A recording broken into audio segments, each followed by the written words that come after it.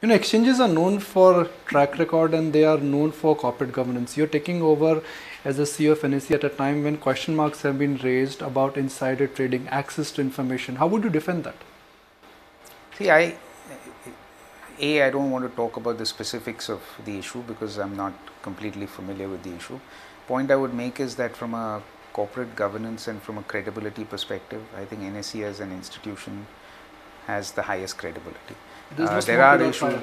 No, that could be the case. I don't want to comment on it because I don't have the details of it. If there are any issues that need to be sorted out with the regulators, that would certainly be priority so that whatever issues the regulate, regulator has are resolved and are behind us.